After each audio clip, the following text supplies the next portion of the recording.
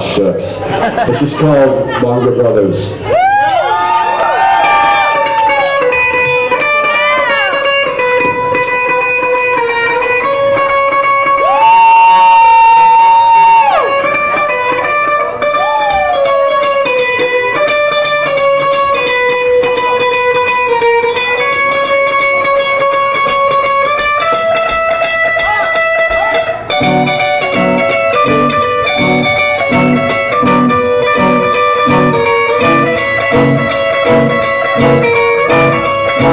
Thank you.